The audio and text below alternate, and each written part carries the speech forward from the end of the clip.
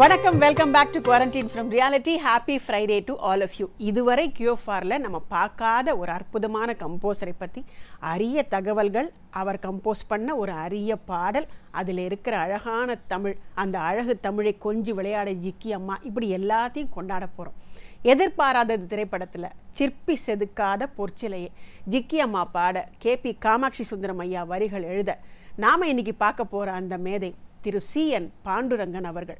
ஆயிரத்தி தொள்ளாயிரத்தி நாற்பத்தி எட்டுலேயே தமிழ் தெலுங்கு சினிமாவுக்கு வித்தியாசமான ஆர்கஸ்ட்ரேஷன் அரேஞ்ச்மெண்ட்ஸை காட்டி நம்மளை பிரமிக்க செய்தவர் சி என் பாண்டுரங்கன் என்னும் மாமேதை. எல்லாரும் ஹார்மோனியத்தில் கம்போஸ் பண்ணி பாட்டு சொல்லி கொடுப்பாங்க. ஆனால் இவர் வீணையில் தான் வாசி காட்டுவார். வீணையில் வராத சில கமக நுணுக்கங்களை பாடி காட்டுவார். பாடுறவங்கள ஒன்ஸ் பாட கூப்பிட்டாருன்னா அது அவங்களுக்கு பொருத்தமான பாட்டாக மனசில் வச்சு தான் அவர் கம்போஸ் பண்ணுவார். பாட்டை த தப்பான ஆளை பாட கூப்பிட்டோங்கிற பேச்சே அவர்கிட்ட கிடையாது. அவருக்கு எப்படி தான் தெரியுமோ அப்படின்னு புகழேந்தி சார் ஆசையாக சொல்லுவார். ஏன்னா புகழேந்தி சார் கேவிஎம் சார் கிட்ட சேர்றதுக்கு முன்னாடி ரொம்ப வருஷங்கள் பாண்டுரங்கன் சார்கிட்ட தான் அசிஸ்டண்ட்டாக இருந்தார். அதாவது ஆர்கஸ்ட்ரேஷன் அசிஸ்டண்ட்டாக இருந்தார். நமக்கு ரொம்ப பிடிச்ச வேதா சார். அவர் வந்து பாண்டுரங்கன் சாருடைய பிரதான சிஷ்யர்னே சொல்லலாம். ஷாம் சாரும் அந்த மாதிரி தான் ஜிக்கி அம்மாவுக்கு இதுதான்மா பாட்டு அப்படின்னு சொல்கிற மாதிரி அவங்க குரலுக்குனே அமைஞ்ச ஒரு பாட்டா சிற்பி செதுக்காத இருக்கும். ஏன்னா சிற்பி செதுக்காத அந்த இடத்துல ஒரு சின்ன ஒரு மெலன்களி அந்த மெலன்களி ஜிக்கி அம்மாவுக்கு தான் வரும் ஆயோ கிளாசிக்கலாக வேணுமா? அதுவும் ஜிக்கிய மாட்ட வரும். கற்கண்டு பாக. திடீர்னு ஒரு வெஸ்டர்ன் ஃப்ளேவர் மாதிரி கேட்குதா அதுவும் ஜிக்கியமாக வரும். காமாட்சி சுந்தரமையாவுடைய கவிதைக்கு ஏற்ற மாதிரி தன்னுடைய டியூனை லேசாக மாற்றிக்கிட்டதாக ஸ்ரீதர் சார் சொல்லுவார். அதான் அந்த அற்ப செயலுக்கு இப்படியும் மன அவஸ்தைப்பட விடுவாயோ? அந்த வார்த்தைகள் உட்கார சிரமப்பட்டப்போ அதுக்கேற்ற மாதிரி அந்த டியூனையே மாற்றினாராம் கவிதைக்கு முதலிடம் என் டியூன் அதுக்கேற்ற மாதிரி வளைஞ்சு கொடுக்கும் அப்படின்னு இந்த பாட்டை பண்ணாராம். அந்த பேக்கிங் ஸ்ட்ரிங்ஸ் இருக்கே அது வேர்ல்ட் கிளாஸ் இந்த பியானோஸோட சவுண்டிங் அதுவும் வேர்ல்ட் கிளாஸ் ஒரு ஆர்கெஸ்ட்ரா மேஜிக் அப்படிங்கிறத நடத்தி காட்டின ஒரு முக்கியமான பாட்டு தான் சிற்பி செதுக்காத பொற்சிலை இந்த எதிர்பாராத சந்தோஷத்தை இன்னைக்கு நமக்கு கொடுக்க போகிறது ஸ்வேதா ஸ்ரீராம். அந்த குரலில் ஒரு தெய்வீகம் இருக்குது ஒரு ஒரு ஈஸ்தட்டிக்ஸ்னு சொல்லுவாங்கள்ல அது இல்லைன்னா இந்த பாட்டை அட்டம் பண்ண முடியாது. அவ்வளோ அருமையாக பாடியிருக்காங்க ஸ்வேதா. இந்த பாடலை பொறுத்த வரைக்கும் முக்கியமான சப்போர்ட்டுங்கிறது மேண்டலின் அது நம்ம பத்மநாபன் குமார் வாசிக்கிறார். ரிதம் சப்போர்ட் அது நம்ம வெங்கட் வாசிக்கிறார். ஷியாம் பெஞ்சமின் இந்த பாட்டை கேட்ட உடனே சொல்கிறார் இந்த பாட்டு என்னோட பாட்டு அப்படின்னாரு. அந்த பேக்கிங்கில் அந்த ஆர்கஸ்ட்ரேஷனோட பியூட்டி அவர் எப்படி காட்டியிருக்கார்? அந்த பேனோஸ் ஒரு மாதிரி பேஸியாக வாசிக்கணும். என்னம்மா வாசிச்சிருக்காரு ஷியாம் இன்னைக்கு? இந்த பாட்டில் ஆக்சுவலி ஸ்வேதாவை எவ்வளவு அட்மையர் பண்ணுறோமோ அதுக்கு ஈக்குவலாக இன்றைக்கி நம்ம ஷியாம் பெஞ்சமின் அட்மையர் பண்ணணும்.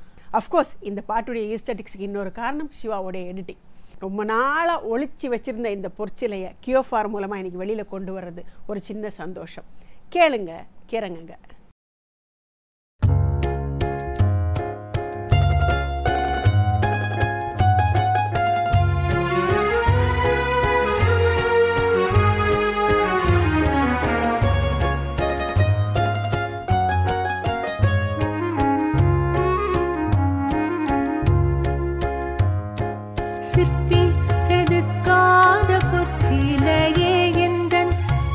பொற்சிலையே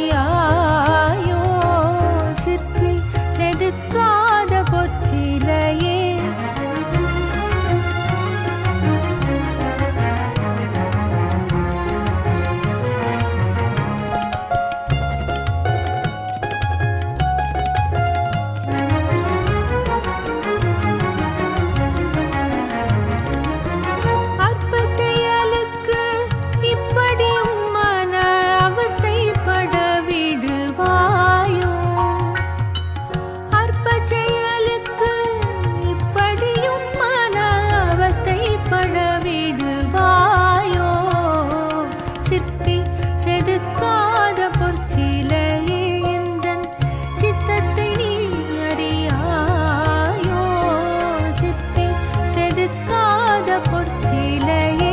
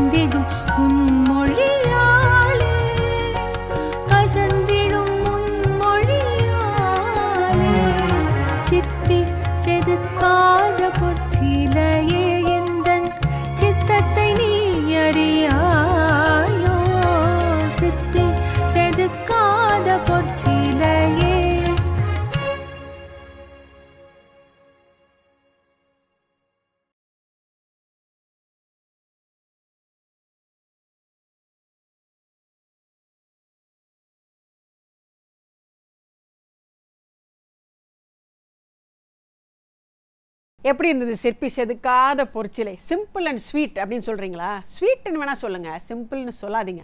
அது நீங்கள் சொல்லக்கூடாதுங்கிறதுக்காகத்தான் அதோடைய ஆர்கஸ்ட்ரேஷன் மேஜிக் அப்படி ஷாம் விரிவாக காட்டினார். குவாரண்டைன் ஃப்ரம் ரியாலிட்டியோடைய முக்கியமான பர்பஸில் இதுவும் ஒன்று அறியாத பல மேதைகள் பல வருஷங்களுக்கு முன்னாடி இருந்திருக்காங்க. இதோ காலம் கடந்து போயிடுச்சு ஜென்ரேஷன் கடந்துட்டாங்க அவங்களெல்லாம் மறந்துடக்கூடாது. சிற்பி செதுக்காத கேட்கும்போது யார் யாருக்கெல்லாம் பரவசம் வந்திருக்கும் எந்த வயதினருக்குன்னு எனக்கு தெரியும். ஆனால் இந்த ஆர்கஸ்ட்ரேஷன் இந்த சவுண்டிங் இது இன்னித்து ஜென்ரேஷனையும் அப்படியே மனசை கவர்ந்து கொண்டு போயிடும். ஓகே நாளைக்கு என்ன பாடல்? நாளைக்கு பாட்டுக்கு ஒரு க்ளூ கொடுக்குறேன். நம்ம வந்து ஒரு உயரத்துக்கு போகிறோம் அந்த உயரம் ரொம்ப ஜில்லுன்னு இருக்கும். அந்த உயரத்தில் ஒரு அழகான சங்கமம். அந்த சங்கமத்தை மன்னர் எப்படி காதலிக்கிறார் அப்படின்னு நம்ம பார்க்க போகிறோம் என்ன பாட்டுன்னு ஈஸியாக எல்லாரும் கண்டுபிடிச்சிருவீங்க. அந்த பாட்டுக்காக காத்துட்ருங்க நாளைக்கு நான் உங்களை சந்திக்கிறேன். அது வரைக்கும் வணக்கம்.